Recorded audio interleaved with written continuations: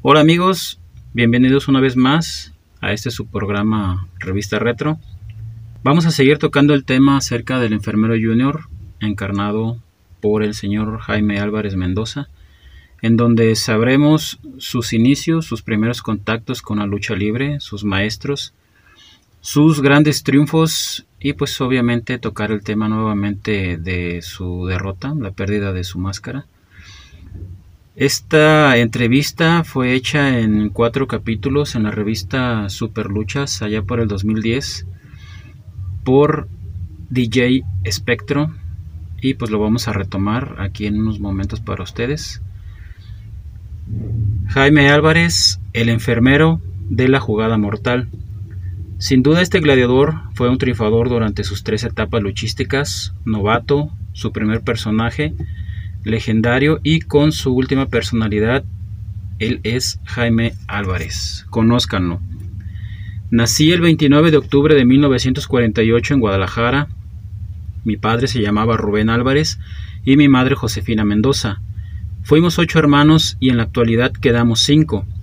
Mi infancia fue bonita y aunque carente de algunas cosas, tuve mucho cariño. Cuando tenía nueve años nos venimos a vivir a México, Distrito Federal.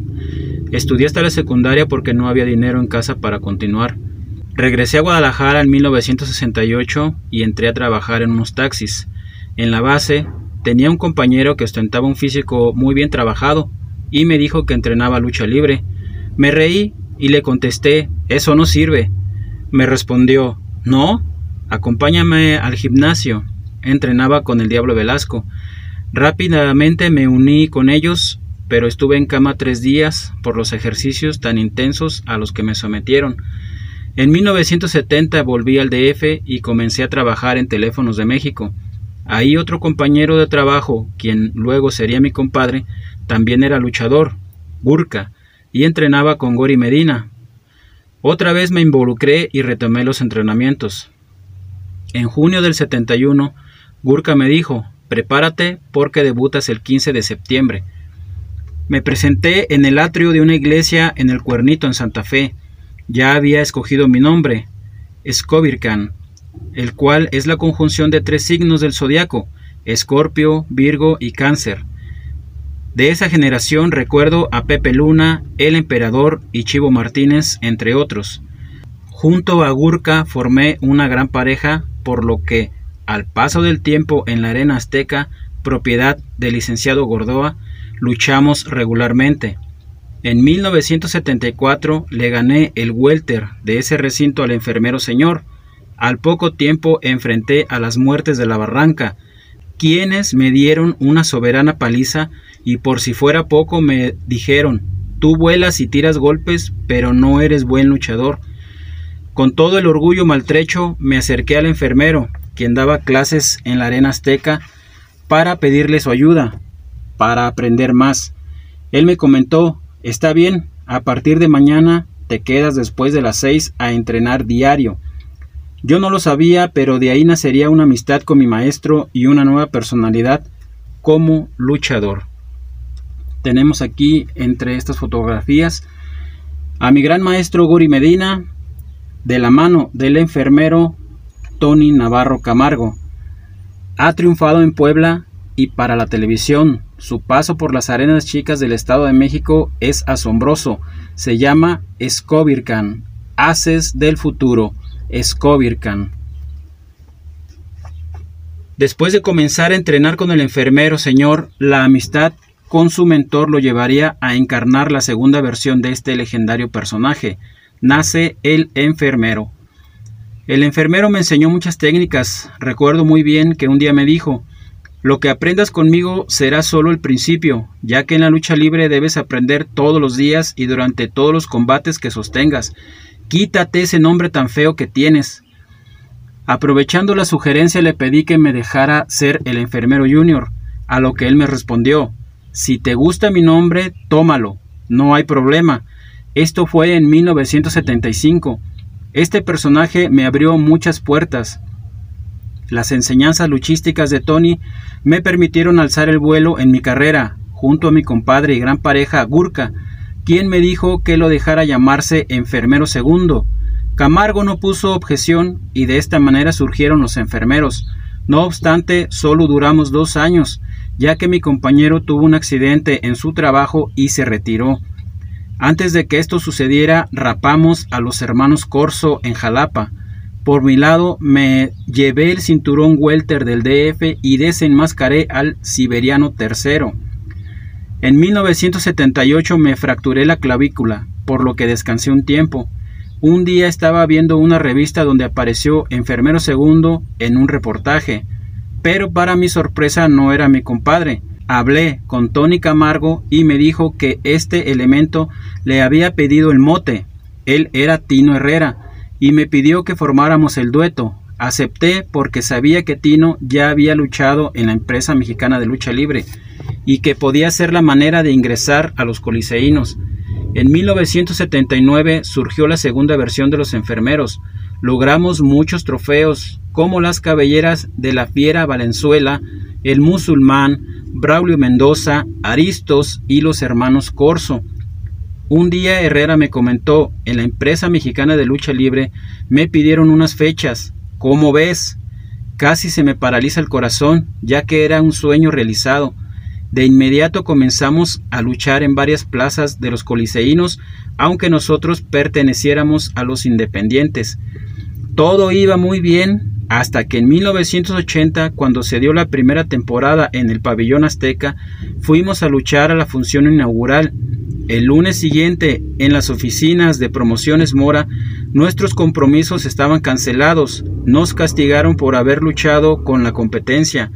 La sanción duró casi un año hasta que en 1981 fuimos a Cuautitlán para iniciar una feroz rivalidad con Kung Fu y Ultraman, a quienes derrotamos en lucha de máscaras contra 50 mil pesos. Además, destapamos a los gorilas infernales en Jalapa y a los dioses rojo y negro en el toreo. Nos llevamos las cabelleras de Romano García y Perro Sosa. En 1982 todo iba muy bien. Incluso Tino tenía una cita en las oficinas de la empresa mexicana de lucha libre para que nos integráramos, pero dos días antes Herrera sufrió un accidente con una sierra. Se cortó dos tendones y la arteria pubital por lo que tuvo que guardar reposo. El dueto se desintegró y todos los planes se fueron por la borda. Me sentí abrumado, pero acepté que el destino me había mandado una dura prueba. Me armé de valor y fui a la Arena México a buscar trabajo. Una agradable sorpresa sucedería ese día. Aquí tenemos una fotografía de la revista El Halcón, el enfermero contra Dios Rojo. Los dioses fueron las víctimas. El pasado y el presente unidos en 1983, el enfermero Junior. Luego de su incansable lucha por ingresar a la Catedral de la Lucha Libre, llegó la oportunidad para Jaime Álvarez, la cual vendría acompañada de algo inédito e histórico, víctima del destino. Siempre he creído en el destino, así que me encaminé a la México, llegué a las oficinas y me metí para tratar de hablar con quien se encontraba de programador. Me topé con el señor Robles y me dijo que Juan Herrera era el encargado de esos asuntos. Juan Herrera me aceptó y de inmediato comencé a participar en primeras y segundas luchas. Esto sucedió en febrero de 1983. Luego de unos meses, en junio, me programaron en la estelar de la Coliseo de Guadalajara, lo cual representaba que en la capital me darían buenos lugares, pero antes, el 24 de ese mes, participé en la eliminatoria para encontrar campeón nacional medio en la México. Iba con Jerry Estrada, Hombre Bala y Franco Colombo. En los vestidores vi mucho movimiento y a varios compañeros murmurando. Gente de la empresa también andaba ahí, pues en el combate semifinal el crucero expondría su máscara contra Solar II, pero el crucero nunca llegó. Me estaba desvistiendo cuando el Mocho Cota, quien también participaba en ese cartel, me dijo Tú eres el bueno, no puedes decir que no. Estaban buscando a un emergente que subiera a exponer su máscara y me ofrecieron promoverme en luchas estelares. Cuando salí al tapiz de nuevo, la gente comenzaba a quemar programas y a taconear en el piso. De repente se escuchó una exclamación al unísono al ver que en vez del crucero subiría el enfermero junior.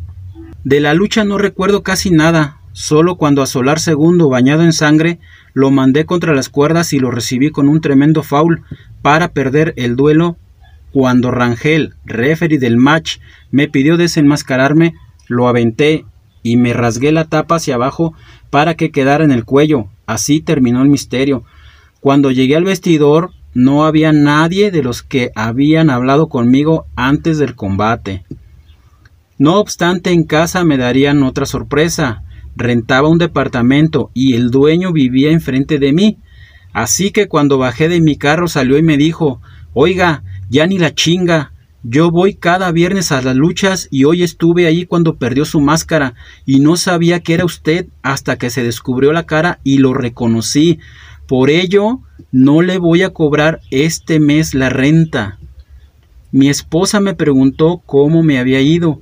Le dije que había perdido la máscara y ella preguntó si me la habían robado. Pero cuando le expliqué, soltó en llanto. La tranquilicé al comentarle que iba a salir adelante.